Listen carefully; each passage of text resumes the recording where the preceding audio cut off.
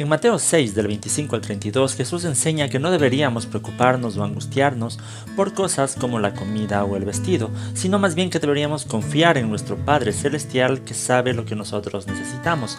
Pero en el versículo 33 existe una promesa que es muy conocida. Jesús dice, más bien busquen primeramente el reino de Dios y su justicia y todas estas cosas les serán añadidas. ¿Qué significa esto? Jesús promete que Él suplirá nuestras necesidades. De acuerdo contexto son necesidades básicas como la comida y el vestido. Jesús no habla de lujos, de deseos o caprichos, sino de aquellas cosas que Él sabe que en realidad nosotros necesitamos. Pero como muchas de las promesas que la Biblia tiene, es una promesa condicional y la condición aquí es buscar primeramente el reino de Dios. Es decir, nuestra prioridad debe ser las cosas de Dios, de su reino, el servicio para su iglesia, el servicio a los demás. Esto es una prueba de nuestra fe. Gracias por mirar esta serie de reflexiones en un minuto.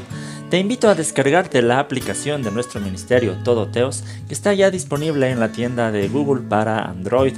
Eh, los enlaces están en la descripción de este video.